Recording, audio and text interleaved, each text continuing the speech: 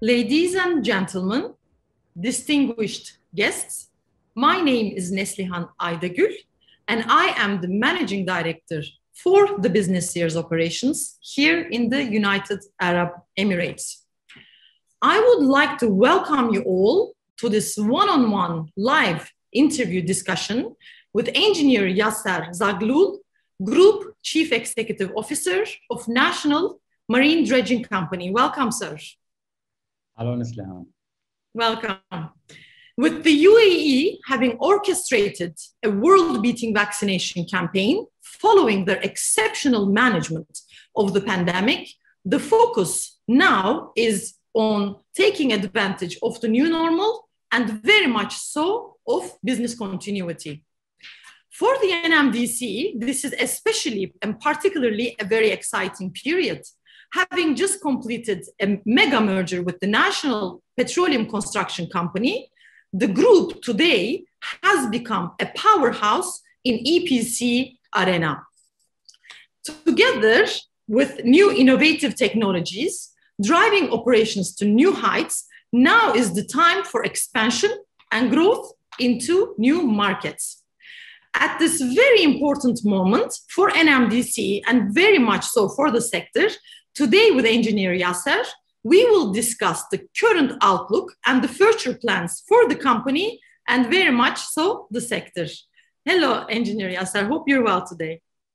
Oh, thank you so much. Thank you. We have audience joining us from all around the world. I think everybody is very much excited to hear Uh, the uh, NMDC uh, initiatives and uh, the projects going forward. But as we have discussed with you multiple times uh, in the past, even in person, the name of the game last year has been resilience. And I think we, as we have been saying it for a while as well, have redefined the meaning of resilience. In your opinion, as we look at the whole global uh, market and kind of focusing into the UAE and to Abu Dhabi, what have been your major takeaways and what is your overall perspective on how resilient we have been? Yeah, actually, um, uh, first of all, thank you so much, Neslihan, for considering me talking about this important topic uh, at current difficulties, actually, for all of us it's very obvious now that a lot of change happening and the challenges as well, disturbance during the current period and the last period as well. So when we talk about resilience, I believe resilience during this tough period is a key success factor for, uh, for all businesses. So um, if we look around and we see difficulties around us everywhere, uh, these difficulties and the challenges and the changes could lead for uh, degeneration of the system. And if we focus only, uh, you mentioned growth and expansion and diversification. If we focus now on only growth and expansion and diversification without looking to uh, resilience and be resilient, that could lead really for uh, fragile rigidities. And that could be very risky for, for, for the business. And we can see a lot of business shut down, a lot of business declined because of this. So when we talk about resilience now for the business, it's not only uh, ability to, to embrace the challenges and the changes and to cope against the changes, but to as well bounce back and grow. So um, to, to be able to uh, withstand adversity during this tough period and this is the main success for, uh, for sustainability at the moment. So um, capacity of learning and adaptation is very important at the moment. And here it comes to, in my view as well, in relation to resilience, uh, it could be the experience. Once we say experience people and experience on our business, this is very positive, uh, of course, note and word. However, during the current period, we have seen it. Experience could be certain dilemma for the resilience. And mm -hmm. this comes to risk and big risk because when we have extensive experience in certain manner on our way work, that's mean we used to do the things like somehow and we are very efficient. But once the circumstances comes different, then the experience, the true experience should let us maneuver against the storm weather, show, uh, makes us to sail safely with the ship. This is very, very important. And ability as well to change and adopt for experienced people, it's not easy. It's not easy if you don't think different. And this is very, very important and crucial for our business to succeed. Of course, as NMDC and the NMDC group diversification, definitely we are lucky that we are working on a UAE atmosphere and our home market is UAE. As you can see around us, everywhere the market is down and a lot of challenges outside the market. And if you look at the active market now global wise, you will find, alhamdulillah, NMDC active on these active markets, UAE, Egypt, and GCC.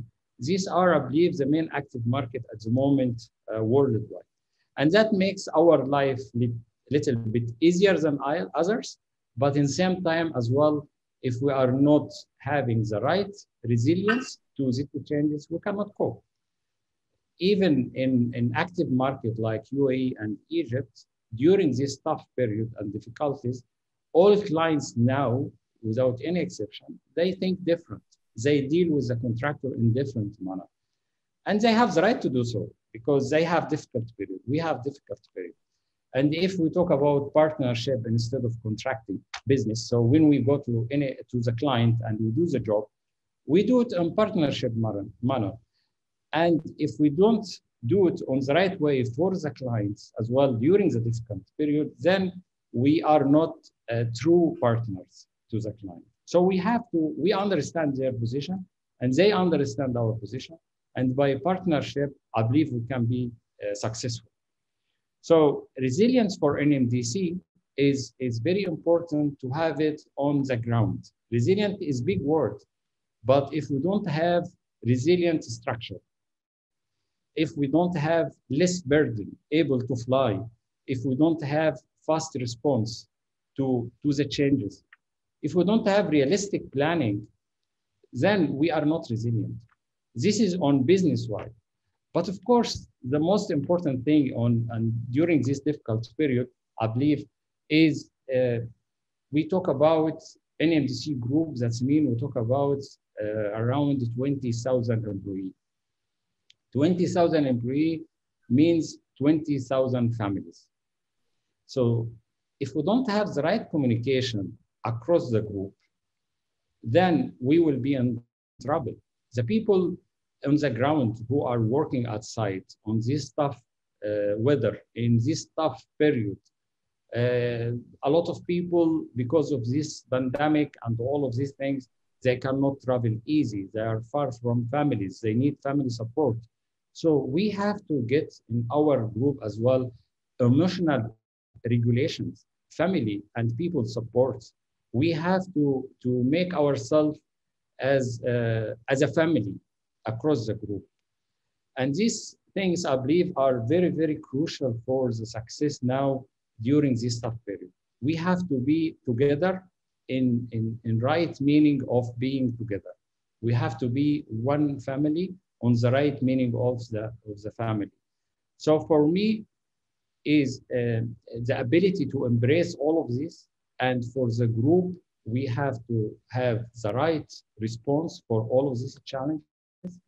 If you look at NMDC, what we have done uh, since we, we felt the heat of the pandemic, and really the team of NMDC did that in great job. You can uh, find straight away the team came by realistic planning for different scenarios. What could happen? So if we were very proactive on that, we defined certain scenarios, three, four scenarios, and alhamdulillah, whatever happened was not out from these scenarios. And each scenario, we have response team for this. We created mainly for that uh, crisis management team. And CMT were really able to communicate uh, with every person in the company to have the proper implementation for the planning what we have done to care about people emotional wise family wise support wise and alhamdulillah we, we we were successful last year. It was so difficult. And up till now we are doing great. And we start to grow already with the merging as well, more growth to come and more success to come. Uh, so when we see NMC growth, a group growing and successful during this difficult time, I believe the main driver behind this and mere success factor behind that was to be resilient. Absolutely. Just to set a bit of the foundation, obviously we have a very uh, diverse uh, audience joining us from all different sectors. Uh, but uh, just to set the foundation a little bit, NMDC group at the moment is in Hail and Ghasha artificial island uh, construction projects, Khalifa Port, South Quay uh, development, foreshore works. Obviously, you have quite a few uh, projects in Egypt. Uh, two of the um, main projects are Ras Gargub and Manzala Lake. And obviously, just recently, the chairman of Suez Canal has uh, announced uh, your involvement in the further development of the canal itself. So when we look at the diversity of your projects, obviously from transportation logistics to oil and gas and infrastructure development, um, and obviously you're in different geographies as well and the main subject matter at the moment is resilience right so what are the uh, over um, overarching uh, three factors, if you could say, that ensured uh, that NMDC have remained resilient uh, in this period? Actually, whatever we are doing now in diversification and expansion, it's main uh, as well part of the resilience. Uh, in short, if you look at so many huge organizations 50 years ago, how many of these organizations are still on the ground? Not much. Uh, the driver for success and to sustain on this is to be resilient not only in how you work but as well how you set up your business so by diversification uh, during the tough period and market you can find um, strong roots to grow and you depend on different routes on the organization organization is similar like in my view like a tree as far as the tree becomes bigger, you have more wind.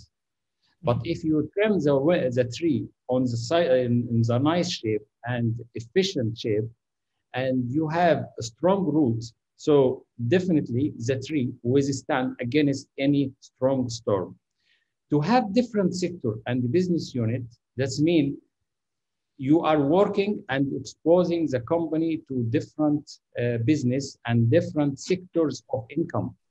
So if one sector of the income comes down, you have another one coming up. And that was very clear during last uh, mm-hmm. period of the pandemic. You will find you you found everybody found, for example, the oil and the gas market was going down, but other market going up, and so on. Exactly. So you will find NMDC covering more than one or two or three sectors. So you come more resilient as well by somehow guarantee of continuous income from different business units. Absolutely. And this is actually a perfect bridge uh, to my uh, next question. Obviously, uh, originally NMDC being a uh, infrastructure uh, powerhouse, now the recent uh, merger with NPCC has ensured that you are an engineering, procurement, and construction powerhouse. Obviously, this is uh, this is a major move. So, just uh, obviously, you have alluded to it a little bit already. Well, what does this merger? To start with, mean for both of the organization, for NMDC as well as NPCC, and more importantly, what does this merger mean to the country? In short, it means stronger together. so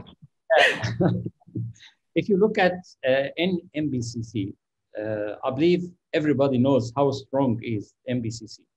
And uh, NPCC has a very strong history in oil and gas sector.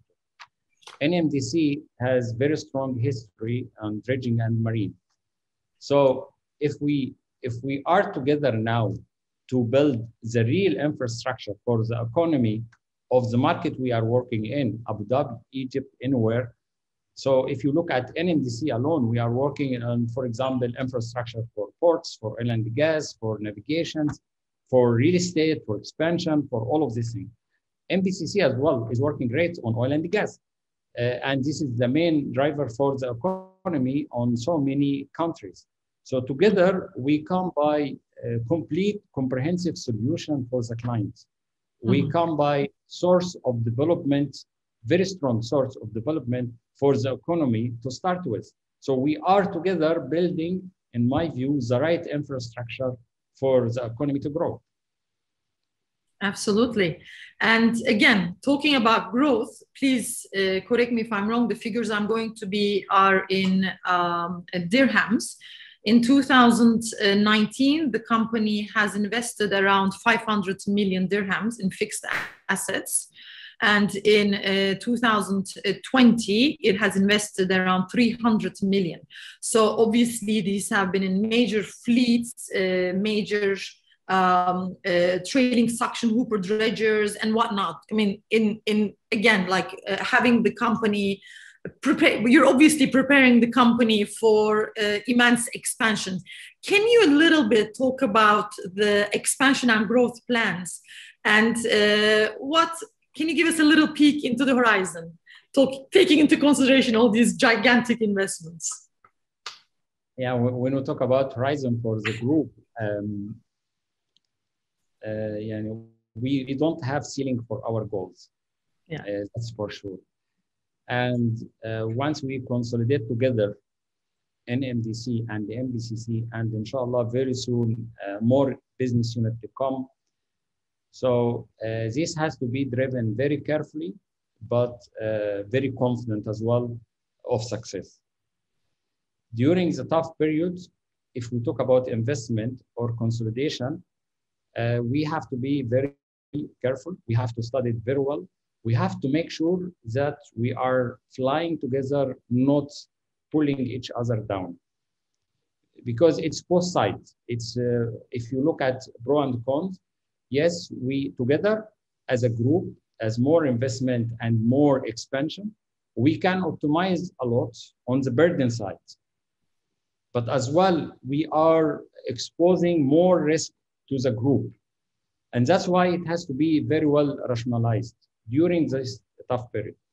But the consolidation and merging has been done after um, a very extensive study, and very, it was very carefully as well studied to make sure uh, about, the markets. Because by end of the day, we are walking into, into certain markets.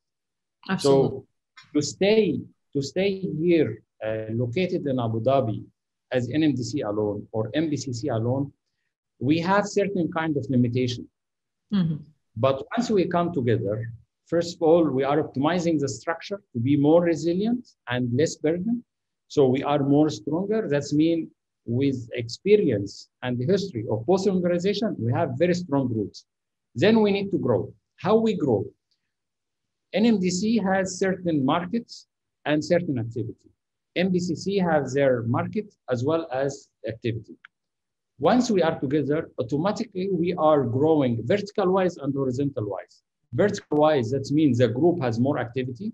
So we can go to the client, inshallah, very, very soon in the future to talk to the client. And instead of having so many packages in your project and so many problems, we can come by one solution, turnkey mm. solution, we can come from A to Z, from package one to package five together or so so. Other side as well, horizontal wise, horizontal wise, NPCCs, they have their own market and we have their, our own market. So wherever we are, for example, very strong in Egypt, we can bring NPCC to Egypt. They are very strong in Saudi, they can bring NMDC in, in Saudi. So we are horizontally expanding as well by sharing our market as well as by getting strong to penetrate new market for both of us. Absolutely. And again, on the subject of, of um, uh, strength and uh, creating a local powerhouse, over the past uh, couple of years, and uh, you just walk uh, through ADIPEC and uh, in the in the exhibition and the conference itself, you have all these numbers on each exhibitor's wall. They're grading, and for those who don't know, that is the organization's in-country value rating. So obviously yeah. this is this is this is a very interesting number if you are planning on betting on uh, any project uh, in the in the in the Emirates. So obviously the in-country value program uh, is extremely important uh, indicator uh, for uh, getting a stake in any any uh, project. So to kind of as a, as a, as a local organization who obviously has uh, this capacity, and when you look at the uh, the merger, obviously with NPCC and NMDC, what does IC mean? for the organization now overall. And when we look at uh, the possible expansion or entrance of any international organizations coming here. How can this program succeed whilst creating an even playing field for international and local players? I know it's a heavy question and it's not one that is so easy to uh, answer, but I really would love to hear your opinion. Yeah, uh, actually, ICV program um, it's very valuable from uh, different kind of meanings. Uh, not um, only about uh, money or about investment or added value. It is adding value or definitely to the community. But ICV, I see it by quite different way, which is very valuable meaning for ourselves. ICV means I'm going to care about the community. ICV means that I'm going not only just to do project and get some profit and run away, but no, I'm going to really to develop something around us.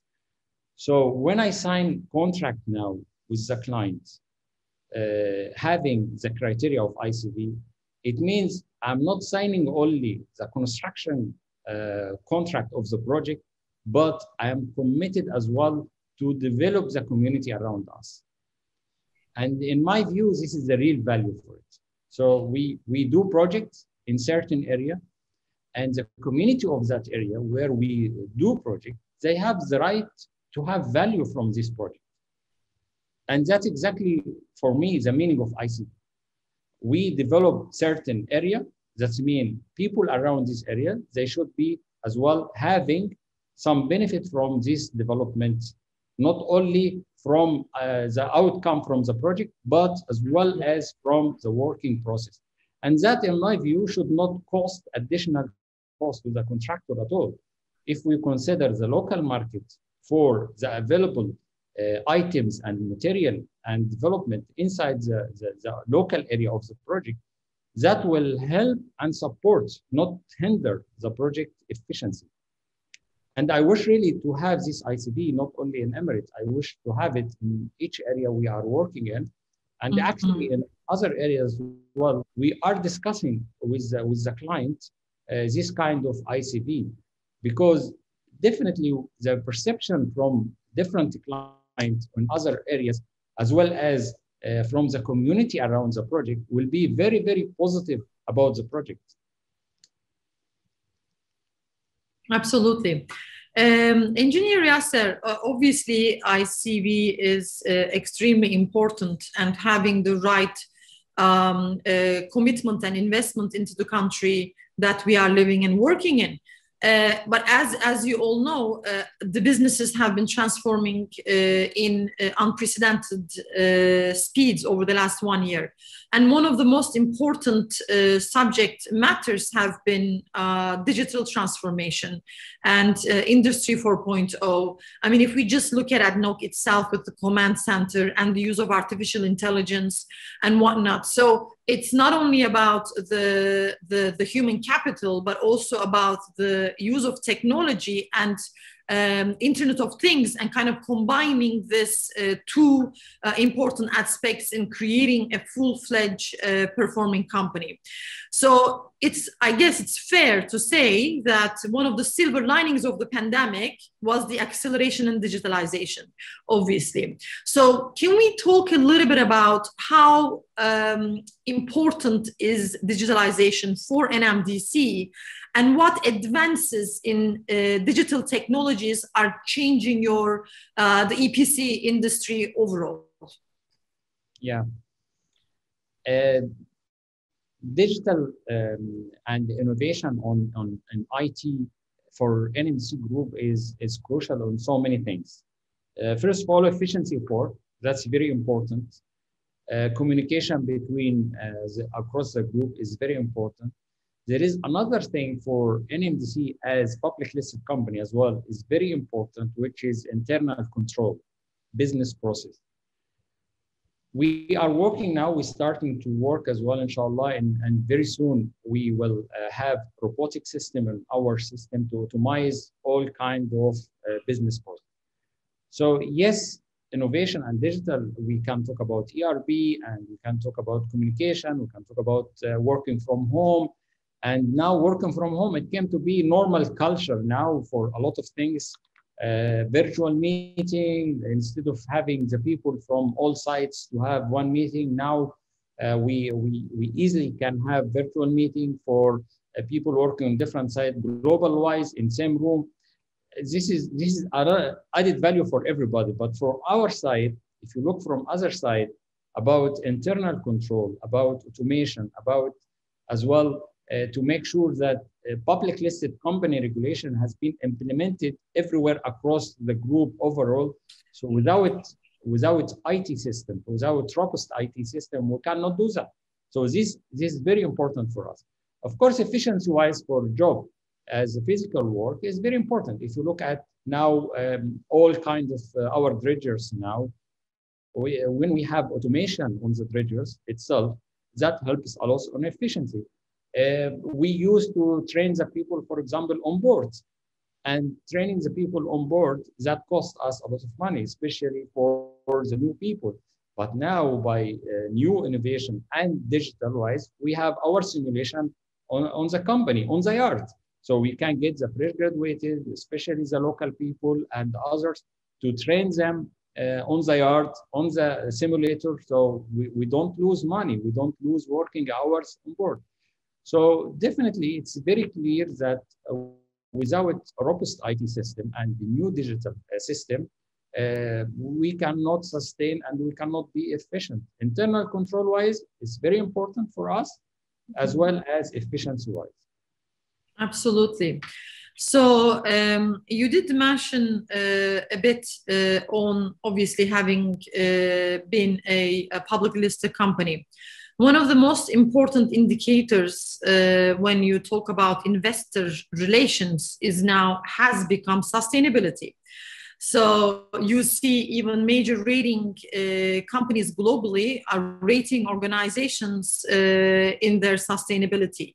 So, uh, and I will uh, make a reference to one of the most interesting interviews uh, as the business year had to conduct last year was with engineer Awaidha Almarar, uh, the chairman of uh, Department of Energy. And in this conversation, uh, the most important subject matter was uh, the trilemma, which is energy, economy, and environment how to make uh, our emirate and our country the most livable place and the most sustainable place and having the right uh, capacity, uh, a balance of environment, sustainability, and economy. So when we look at uh, NMDC and when we look at uh, the environmentally safe and sustainable ways of dredging, what actions does NMDC take to ensure the marine biodiversity of the Gulf remains intact? That's a tough question, Islam. they uh, they always consider us as a dredging people an enemy of the environment. But in my this view, is where we clear the this is where we clear the. in my view, it's not true. yeah, absolutely. We, yeah, we understand very well that we are existing for developments. Uh, so we cannot be uh, working for developments while we are damaging others, especially the environment. So we cannot develop while we are damaging the environment because that, in short, will not be sustained. We develop the things. So one of the our uh, key factors in our um, uh, journey to succeed is to care about the environment. If you look at our projects, for example, uh, we are taking all measures required by regulation. Before even we start the project, we have our CMP has to be approved by EAD, Environmental um, Department of Abu Dhabi. And EAD is really a main stakeholder for our business. Okay. We make sure jointly that we are taking all measures and we are uh, providing the right solution and methodology has been approved. Not only that, we started jointly to have initiatives for to improve as well uh, the, the marine uh, life and uh, the marine environment. We have done a couple of projects together, like for example, uh, plantation of mangroves. We, uh, we did uh, a lot of projects to improve the water circulation for the life of the trees and mangroves. More even than this, it was certain projects for Abu Dhabi for to develop as well economy. And this project uh, had some impact on environment, which has been showing on the study of the client.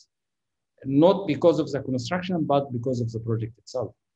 And we have done initiative together with the client and AD. We did Habitat Island to increase mm-hmm. the marine life on it and to improve and to compensate much more than the, the, the harm happening on, on the environment.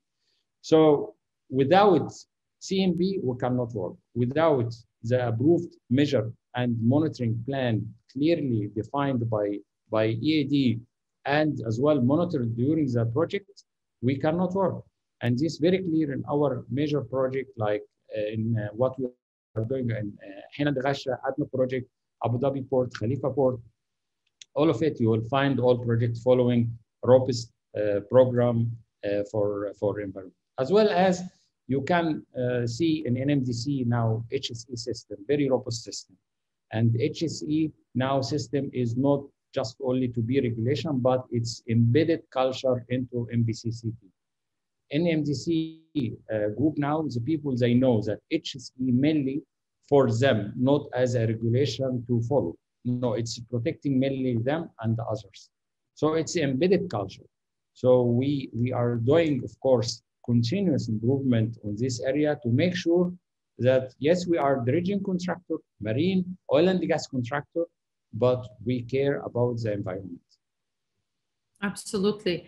And uh, just to make a little note, the, the projects that you're working on, uh, like uh, Ghasha uh, are particularly for gas and gas by default is uh, a cleaner energy so you're with your projects you're uh, directly contributing into a more sustainable and less carbon expensive projects so um, um, engineer Yasser, obviously, uh, I mean, this conversation uh, has been extremely enlightening to me.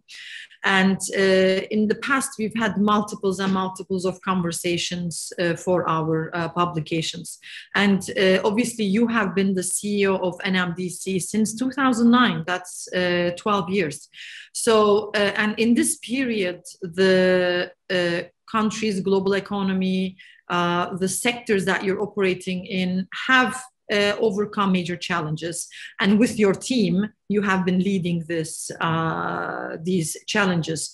When we talk about uh, today, your position, obviously after this uh, mega merger as well, what excites you the most when you think about your uh, role as the group CEO of uh, NMDC Group, and uh, when you think about this uh, journey, uh, new exciting journey, what are the major milestones uh, you're looking forward to accomplish?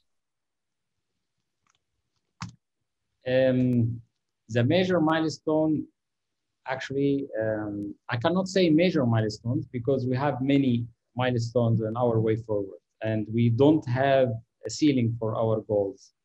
So I cannot really define as a because if I if I hear major milestones, that means if we reach there, we somehow will be relaxed and st stop somehow or relax somehow. But but actually, we have so many major uh, milestones. Uh, we have, as I said, no ceiling for our goals. And what makes me excited really is the growth and success every time, as you see during last period, every time we achieve something and we reach a certain milestone, milestone, we fly straight away to, to the next uh, milestone. And we discuss all the team, and I believe uh, this uh, culture embedded into the whole group now. Once we try, we feel that we are landing on certain milestone or success, straight away we fly to the next one. And this is the main uh, things makes us excited here in NMDC. Growth and no ceiling for uh, our goals. No, thank you so much. And I really would like to uh, close this conversation because uh, even before our interview and at the beginning of uh, our interview, uh, we really uh, kind of put a lot of emphasis on resilience. And we talked about being a resilient organization, having resilient strategies, and whatnot. And I think one of the most important elements here is being a resilient leader. So, in your opinion, what makes a leader resilient? And um, what would be your uh, sharing points uh, with our audience? A resilient leader for for for me is um, is so many things to be resilient, but the main thing for it, I believe, to be able to cope for a change.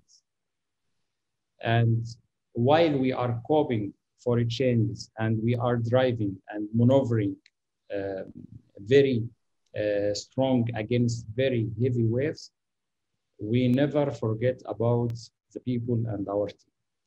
I believe this is the main thing because this is big dilemma to, to cope against the, the, the changes and maneuver with the group against the changes, which by end of the day, it's revenue and profits.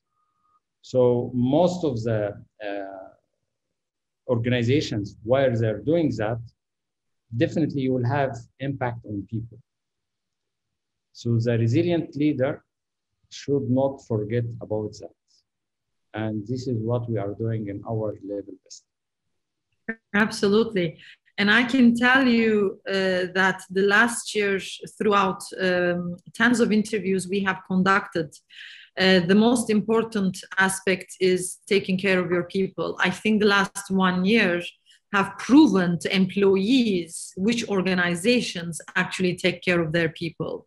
So, and I think uh, organizations that took care of their people in this period have earned a different level of loyalty from their uh, employees.